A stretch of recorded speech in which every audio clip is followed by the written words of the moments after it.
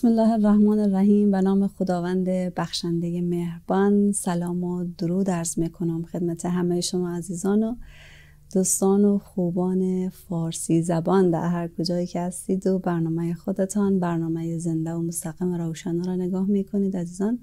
انشالله همواره صحتمند سلامت جانجور و تیار باشین در پناه خداوند مهربان و زیر سایه بزرگان فامیل و به ویژه زیر سایه پدر و مادر خود زندگی خوب و خوش داشته باشید انشاءالله. عزیزان یک روز شنبه دیگه است و باز هم در خدمت کارشناس محترم خانم دکتر خاوری هستیم. از حضورشون استفاده می‌کنیم. سلام علیکم خانم دکتر خاوری. بسیار خوش آمدین. بسم الله الرحمن الرحیم. من عرض سلام دارم به حضور شما و به حضور همه بینندگان محترم برنامه روشنو و امیدوارم که در هر جایی هستند صحتمند و سلامت باشند تشکر از شما. بینندگان عزیز در همین ابتدای برنامه خدمت از شما دوباره تکرار کنم.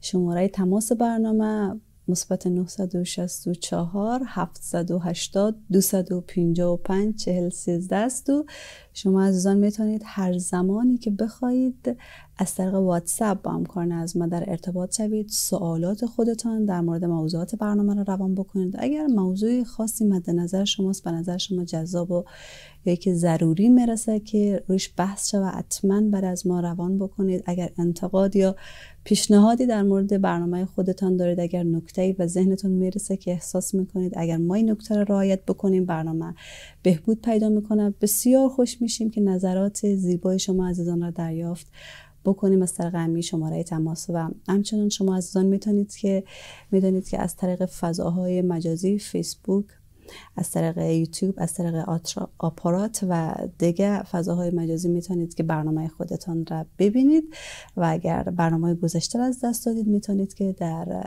اینترنت این برنامه ها را دنبال بکنید و ببینید. خانم دکتر خاوری بحث برنامه گذاشته همطور که شما عزیزان بینندگان هم می‌دانید بحث در باره بخشش بود. و که چقدر ارزشمند است بخشش بر هیچ کسی پوشیده نیست. همه می‌دانیم که بخشش یک امر بسیار پسندیده است. اما شما فرمودید که قبل از اینکه وارد بحث شویم باید که بخشش بر از ما مبانیش باز شود ما بدانیم که دقیقا بخشش چیست و چه پایه هایی داره بر چه اساسی شکل گرفته. در واقع باید نگرش و نگاه خودمون به این مسئله را واضح بسازیم و بدونیم که ما به عنوان یک فرد مسلمان چه نگاهی باید به مسئله بخشش داشته باشیم. در این قسمت از برنامه از شما می‌خوایم که اولا برای بینندگانی که ممکنه قسمت گذشته برنامه را از دست داده باشن یک مقدار یک توضیحاتی از برنامه گذشته بدید و باز انشالله ادامه بحث را در خدمت شما باشه. کاملا درست فرمودید در مقدمه که ذکر کردید. بخشش ما قبل از اینکه این حالت در ما به وجود بیایه که ما بتانیم بخشش بکنیم به راحتی قبلش ما باید نگاه خودمان را نگرش خودمان به بحث بخشش را مشخص بکنیم. تکلیف ما معلوم بشه که به این وسیله باید ما بتانیم بقیه بحث ها را داشته باشیم. که مثلا انسان بخشنده باشیم و اینها کاملا مرتبط به این نوع نگاه ما نسبت به بخشش. البته فقط در بحث بخشش نیست. در خیلی مباحث دیگه ما جلسه پیش گفتیم که مثل مبحث ازدواج مثل درس خواندن یا هر بحث دیگه ای که داریم ما قبلش باید نوع نگاه خودمان را به اون مسئله مشخص کنیم. چه پایه هایی داره؟ در چه شرایطی چه محیطی این بخشش می‌تونه یا هر اون مسئله می‌تونه وجود داشته باشه که ما تکلیف ما با اون مشخص باشه. مثال هم زدیم. گفتیم شخصی میای میگه که من می‌خوام درس بخوانم یا این رشته را ادامه بدم یا نه؟ یا با فلان کس ازدواج بکنم در این سن ازدواج بکنم یا نه؟ اینا ما باید قبلش بهش گفته باشیم که تو نگاهت و نگرشت نسبت به ازدواج کردن نسبت به درس خواندن باید چه قسم باشه که تکلیفت مشخص شه که در این سن الان باید ازدواج بکنی یا نه بله. در این رشته که هستی بمانی نمانی یا رشته تعوض کنی یک رشته دیگه بخوانی کلا برای هر کاری که انسان در زندگی از کوچکترین کار تا بزرگترین کار می‌خواد که انجام بده باید که طرز نگاهش به اون مسئله مشخص و واضح کاملا درسته. بنابراین در بحث بخشش هم به همین قسم هست که ما در ابتدا باید نگاه خودمان را به بخشش مشخص کنیم تکلیف ما معلوم شود. بدانیم که در آموزه های دینی ما از بخشش به چه عنوان یاد شده میزان اهمیتش به چه میزانی هست؟ و بعد میریم سراغ ای که خب چی کنیم؟ وقتی این نوع نگاه مشخص باشه بعد تکلیف ما هم بسیار مشخص ما می‌خوایم یک انسان بخشنده شویم. چگونه بخشنده شویم؟ بنابراین ما در جلسات قبل هم توضیح دادیم. اینکه خداوند متعال خودش بخشنده است. بخشندگی در خداوند متعال به نوعی است که خداوند خودش را هر صفتی رو دنبال کنیم یا ما قرآن را باز می‌کنیم با بسم الله الرحمن الرحیم با صفت. بخشندگی خداوند شروع می‌کنیم. ابتدای هر سوره را با همین آیه شروع می‌کنیم با نام بخشندگی خداوند را میاریم یا وقتی صفت های خداوند را بررسی می‌کنیم در همه اونها نوعی بخشش را می‌بینیم. اما آنچه را که می‌خوایم این جلسه در رابطه با نوع نگاه خودمان به بخشش مطرح بکنیم است که ما در آموزه های دینی ما یاد شده که بخششی را که شخص انجام میده ابتدا در دست خداوند قرار می‌گیره.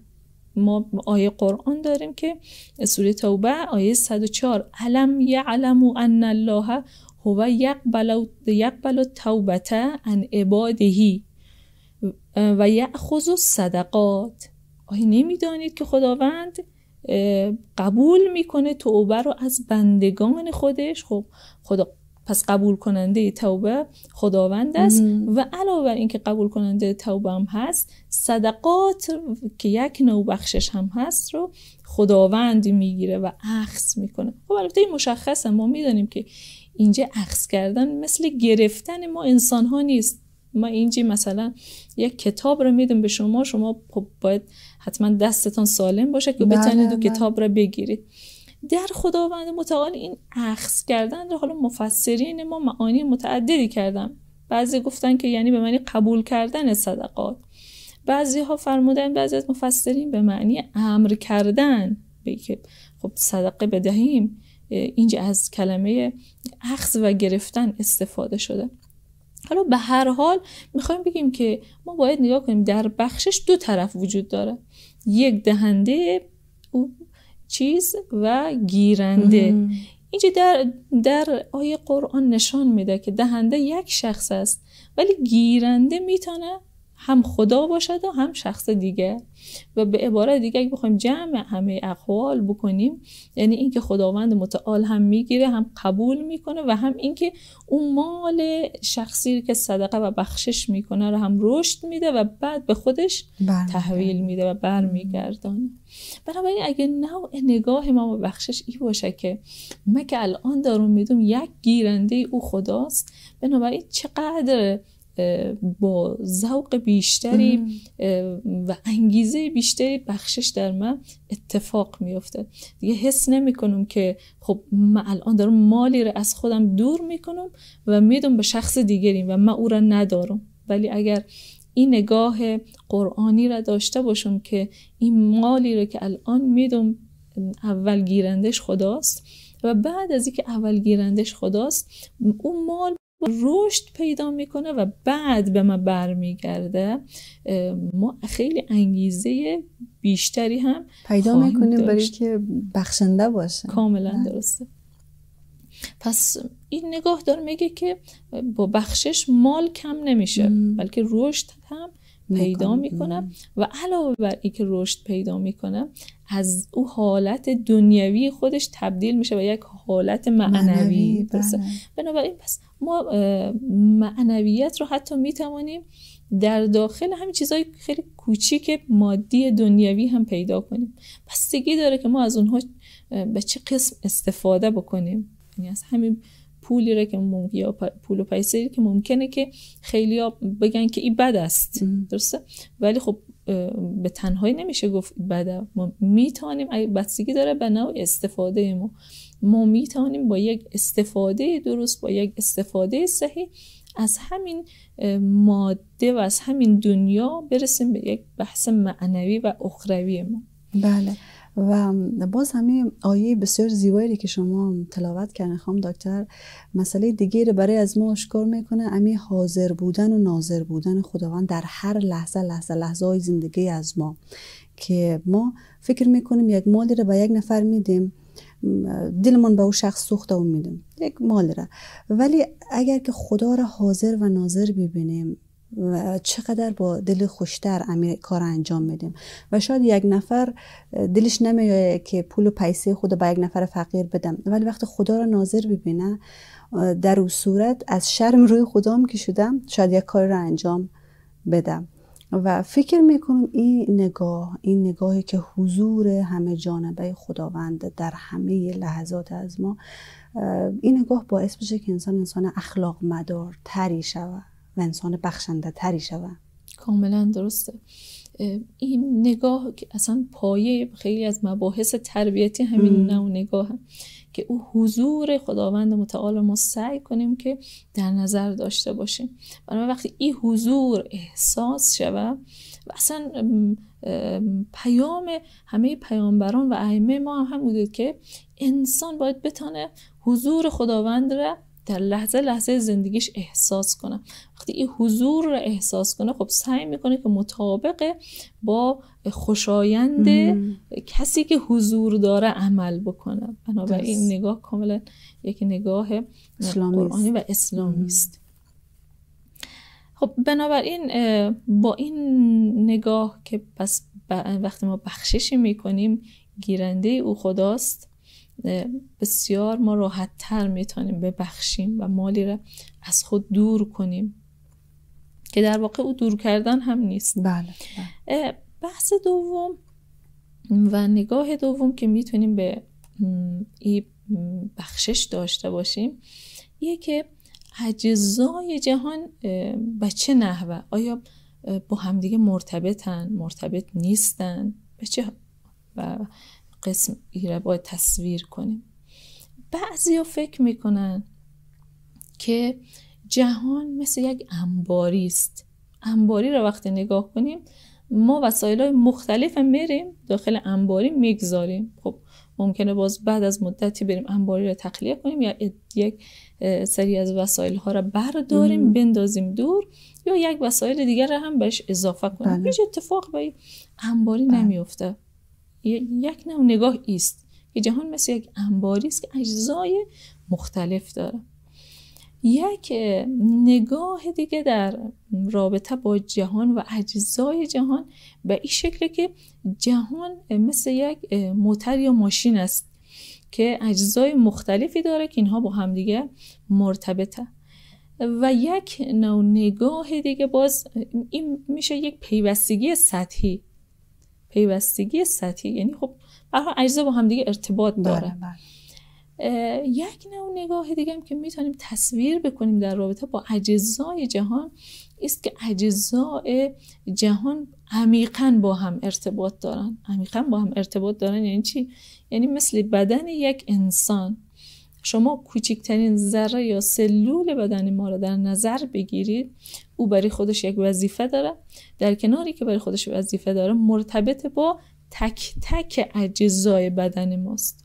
مثلا شما همین خون انسان رو که در نظر بگیرید با مغز انسان با دستگاه گوارش انسان و همه سیستم بدن ما مرتبطه با تک تکشان و همه بدن هم با همدیگه در ارتباط هستن. در ارتباط هم و یک هدف رو دنبال می‌کنن که او هدف این که انسان زنده بمانه و بتونه به زندگی و حیات خودش ادامه بده.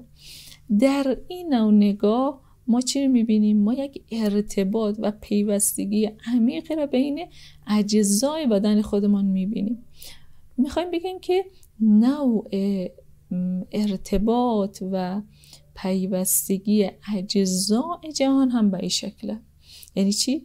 یعنی که تک تک اجزای جهان شما در نظر بگیرید. آسمان زمین خورشید گیاهان خاک و چیزهای مختلف انسان و غیره. اگر در نظر بگیرید اینها هر کدام همینطور که خودشان هستن و یک سری وظایفی دارن کارهای انجام میدن. مرتبطم باز با تک تک چیزهای دیگه. انسان را شما در نظر بگیرید. بله. ارتباط داره با خاک ارتباط داره با گیاهان ارتباط داره باز با کوها با آب با چیزهای مختلف دیگه که حالا چی مادی و یا چی غیر مادی با همه اینها مرتبط هسته. شاعر خانم دکتر میگه بنی آدم اعضای یک پیکرند که در آفرینش یک گوهرند. ولی با این بیانی که شما کردین نه تنها بنی آدم که کل جهان اعضای یک پیکر هستن و با هم مرتبط و پیوستگی دارن. کاملا درست. سبب متحدن و همه به یک سو میرند. مثل بدن انسان تک تک سیستم و اجزای بدن ما می‌خوایم انسان را حیاتش را باقی نگه دارند. سیستم اجزای جهان هم به همین شکله خب ما این مقدمه طولانی رو گفتیم. حالا می‌خوایم بگیم که بنابراین تک تک اجزای این جهان با همدیگه ارتباط داره. هر کدام از اینها کار را انجام بدن تاثیر می‌گذاره بر روی کل بر روی کل او سیستم. مثلا شما می‌دانید که اگر یکی از سلول ها در بدن انسان یکی از سلول ها کار خدا اشتباه انجام بده. مثلا بی موقع تکثیر شوه زیاد شوه. چی میشه؟ این تبدیل میشه. به یک آره این تبدیل میشه به یک قده سرطانی که حیات شخص رو به خطر بله. میندازه. یک سلول است. با انجام وظیفه خطایش با اسمش حیات انسان به خطر بیفته. در جهان هم اجزای جهان رو هم اگر گفتیم چنین پیوستگی مثل بدن داره. به این شکل عمیق از پیوستگی و ارتباطشان در جهان هم به این شکل است. بنابراین ما انسان ها که یکی از اجزای این جهان هستیم نوع عمل ما نوع کار ما وظیفه ما و حتی آنچه که فکر می‌کنیم در موردش تأثیرگذار خواهد بود بر روی تک تک اجزای جهان. منظور شما است که پس اگر انسان با توجه بحث برنامه انسان بخشنده باشه فکر می‌کنه تاثیرش کمه ولی تاثیر که می‌گذاره می‌تونه که جهانی باشه. خانم دکتر اگر اجازه بدین ادامه بحث را باز میان برنامه ببینیم و باز در خدمت شما باش بسیار تشکر. بینندگان عزیز شماره تماس مثبت 964 780 255 40 13 پل ارتباط ما و شما عزیزان است. شما عزیزان می‌تونید که همین الان هم اگر کدام سال از خانم دکتر خانم دکتر خاوری عزیز دارید از طریق واتساپ با همکاران از ما در ارتباط شوید و در میان بگذارید. یک میان برنامه کوتاه را می‌بینیم و باز هم بسیار زود برمیگردیم.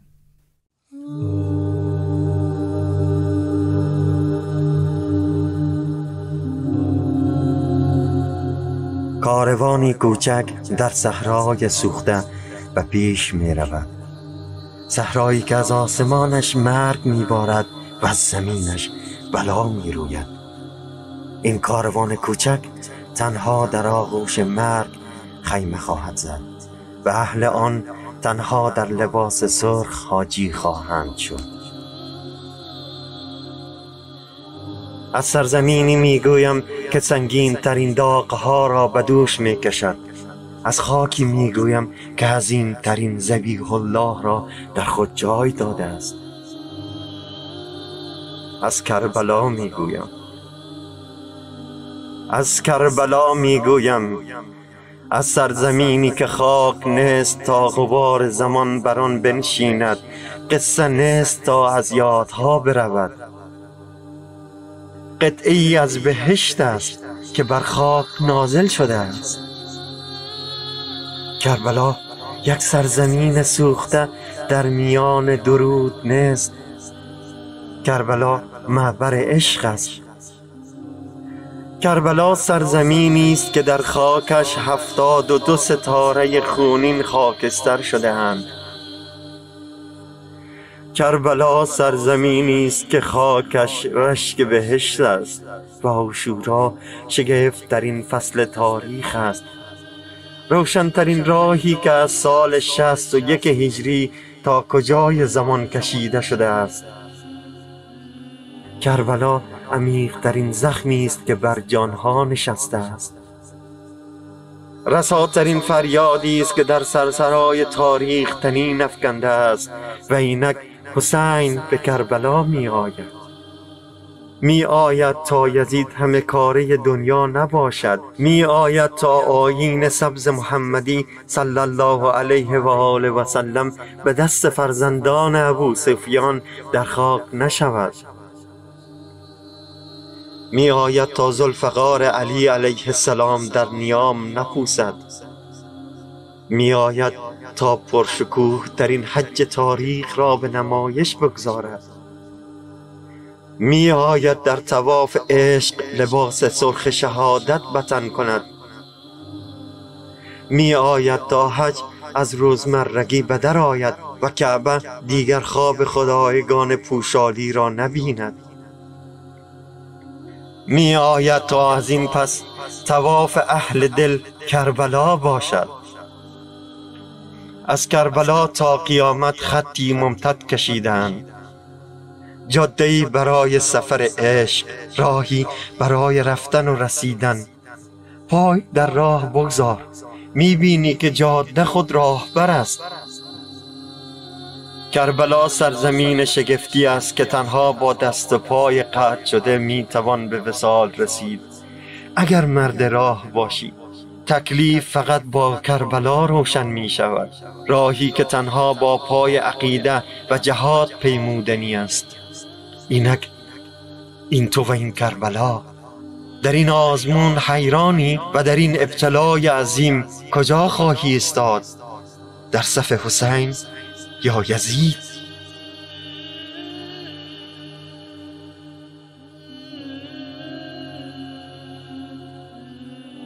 السلام علیک یا ابا عبدالله.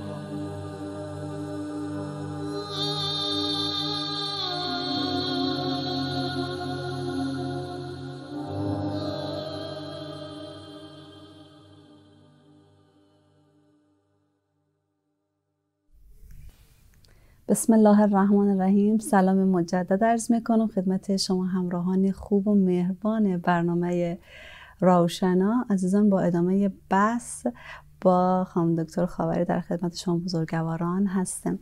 خانم دکتر در امروز در جلسه امروز شما برای ما بینندگان از ما در مورد بخشش صحبت می‌کردین و در مورد نوع نگاهی که باید داشته باشیم و این مسئله مطرح شد که ما باید به این جهان با عنوان اجزای مرتبط و پیوسته نگاه بکنیم و نه تنها یک پیوستگی ظاهری و سطحی که یک پیوستگی بسیار عمیق بین اجزای جهان وجود داره.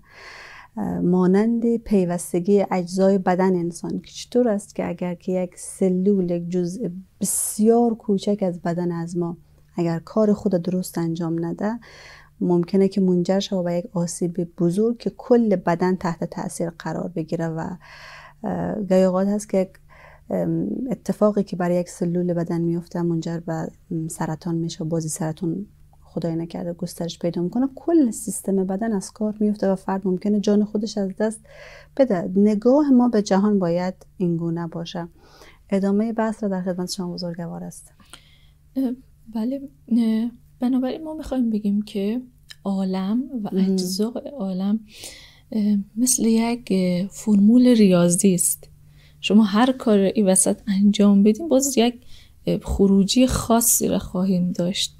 بنابراین پس می‌تونیم بگیم که عالم کلا با شعور هست و این شعور درش وجود داره. و وقتی که این پیوستگی و این شعور را در عالم ما بپذیریم یک سری لوازمی داره.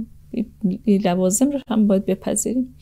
این که خب این پیوستگی وقتی وجود داره بنابراین من انسان که مختار و دارای اختیار هم آفریده شدم اگر در این جهان کاری را انجام بدم کار خوب را انجام بدم. بر کل اجزای جهان تأثیر گذار خواهد بود و یک خروجی خوبی خواهد داشت. و اگر هم کار بدی را انجام بدم باز هم تأثیر مخرب خودش را خواهد گذاشت. پس نمی‌تونیم بگیم که من یک کار خوب یا یک کار بدی که می‌کنم فقط بر خودم تاثیر گذار است. مثلا کار نیکم باعث میشه که من ارتقای معنوی پیدا کنم و مثلا به کمالات روحی برسم یا کار بدم باعث شوه که خود شخص از من آسیب معنوی ببینه مثلا. یا حداقل اگر آسیب جسمی هم وارد میشه به شخص از من وارد میشه. نگاه ما باید ای باشه که نه من به این کاری که دارم انجام میدم کل جهان را تحت تاثیر قرار میدم. کاملا درسته. چون ممکنه کاری که من فکر می‌کنم بی اثره و خیلی ناچیز است ممکنه در شما تاثیر بگذاره. باز شما در دیگری تاثیر بگذاره و دیگری در دیگری. در صورتی که اگر همه اینا رو برگردیم ناشیست از او کاری که من انجام دادم. حالا این کار خوب می‌تونه خوب باشه می‌تونه بد باشه. به عنوان نمونه اگر بخوایم باز مثال بگیم مثل ایست که ما فرض کنید که الان یک موقعیتی رو به دست آوردیم یا وظیفه رو شخص به دست آورده یا اصلا با شخص ازدواج کرده یا وارد کدام مدرسه ای شده یا دانشگاهی. این اگر بره خودش را برگرده به ای که خب چه ماجرای اتفاق افتاد که من امروز در این موقعیت قرار دارم؟ اگر بره بررسی کنه نگاه کنه می‌بینه که اتفاقا ممکنه که این شخص همزمان با شخص دیگه از خانه بیرون شدن و سر یک ساعت مشخص به جایی رسیدن که می‌تونستن همدیگه رو ببینن و اتفاقی با همدیگه صحبت شدن هم صحبت شدن و خب شخص الف بر شخص به تأثیر گذار بوده باعث شده که رشته خاص در زندگی خودشون انتخاب کنه وظیفه خاصی رو ممکن اصلا برش کار بتن و بقیه زندگیش کلا یک نوع دیگه رقم بخوره. در تاثیرش رو ببینید. یک همزمانی اتفاق میفته در این همزمانی کل زندگی و آینده شخص را رقم می‌زنه بله. یک لحظه. بله. این گفته شما خواهم دکتر و بیان شما در امروز مرا یاد یک اصطلاحی انداخت که وجود داره. هم در فلسفه علم وجود داره هم در روانشناسی وجود داره. در فلسفه دین وجود داره. از این اصطلاح استفاده می‌کنن با عنوان اثر پروانه ای که میگن که گاهی اوقات تاثیر اجزای عالم بر هم انقدر زیاد است که یک پروانه در چین بال می‌زنه و باعث میشه که در کارائیب در آمریکای مرکزی طوفان‌های سهمگین برپا شود. یعنی یک بال زدن پروانه اونقدر اثری نداره. ما فکر می‌کنیم اثر نداره. یک پروانه بسیار ریزه است و بال می‌زنه. یک شاپرک است یک پر... پرانگ است که بال می‌زنه. ولی امی بال زدن امی در این جهان بزرگ و پهناور این بال زدن این جریان هوایی که ایجاد می‌کنه برای یک چیز دیگه تاثیر می‌گذاره. او چیز دیگه برای یک چیز دیگه تاثیر می‌گذاره. این تاثیرها زنجیروار ادامه پیدا می‌کنن تا جایی که در او سوی دیگه عالم یک طوفان بسیار بزرگ برپای میشه که ممکنه که نصف یک شهر را از بین مبره کاملا درست. بنابراین شما ببینید از بال زدن یک پروانه شاپرک چه اتفاق بزرگی میفته که ما فکر می‌کنیم یا اصلا تاثیر اصلا برای این تاثیر ما بله. فکر نمی‌کردیم.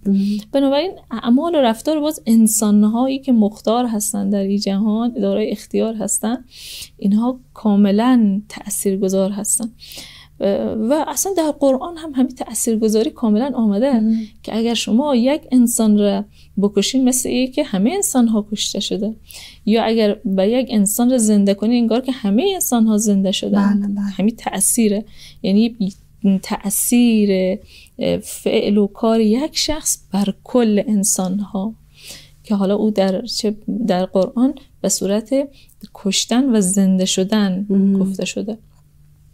بنابراین این تاثیر می‌تونه یک تاثیر بسیار عمیقی باشه.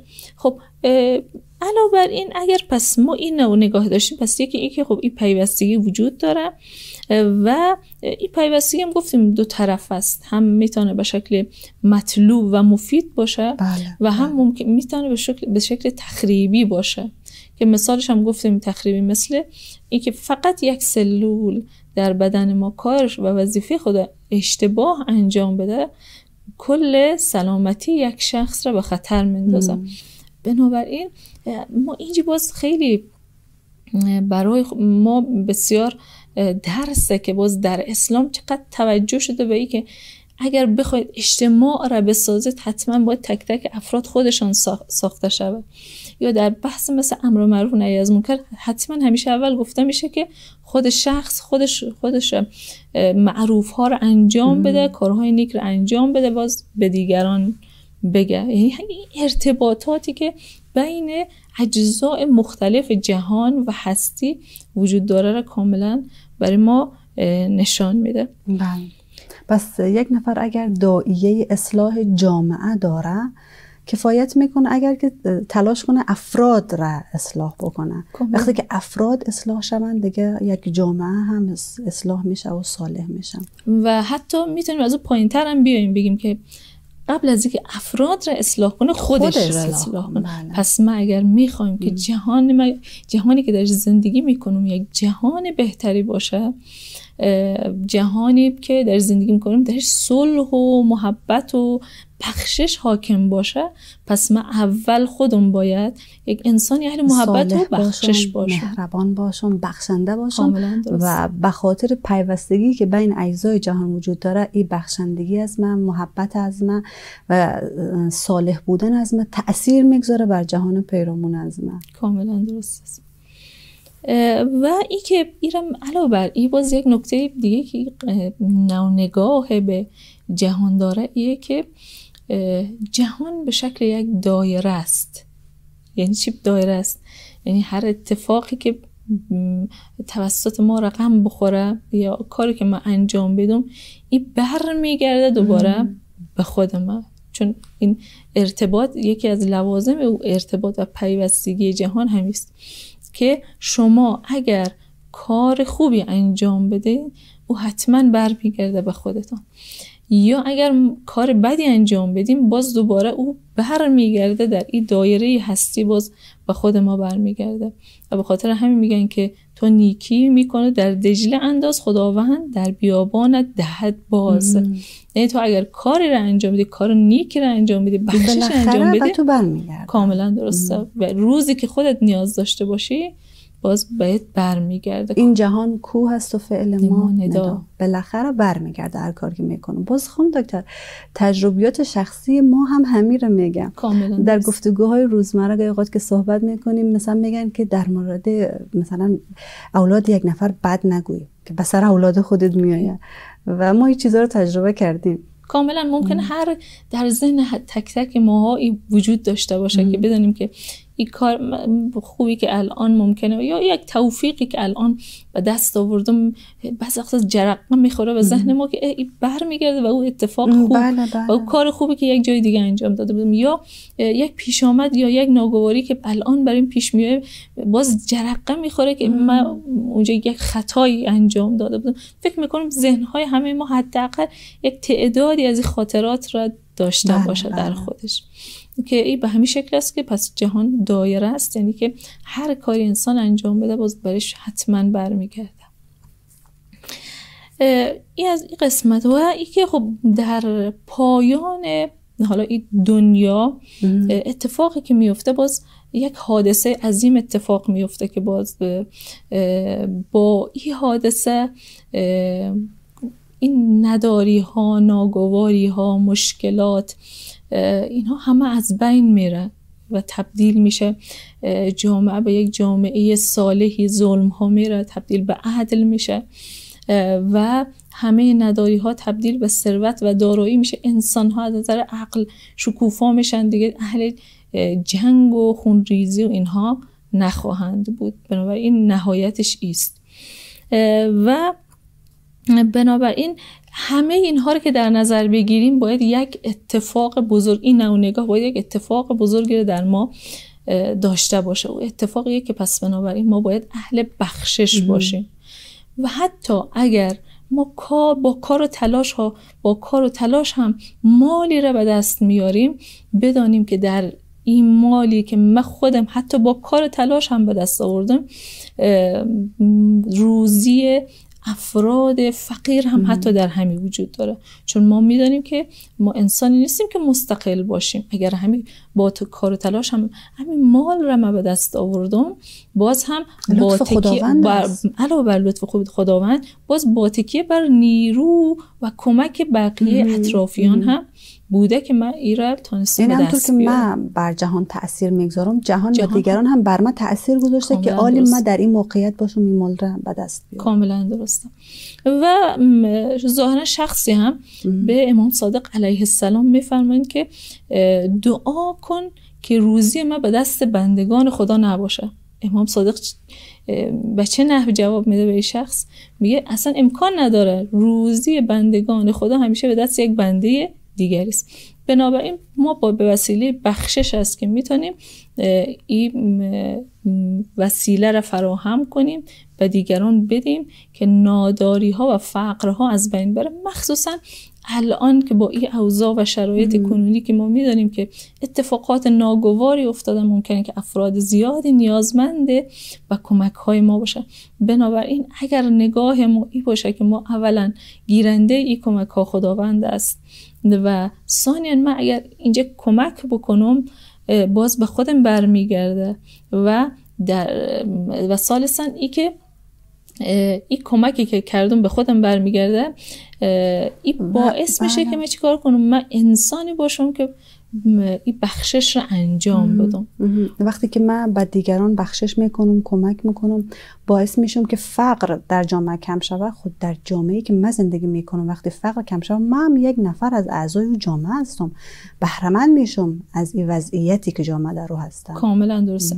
این می‌خوایم بگیم که سرنوشت همه ما که در کنار بله. هم دیگر هستیم کاملا در هم تنیده با یکدیگره.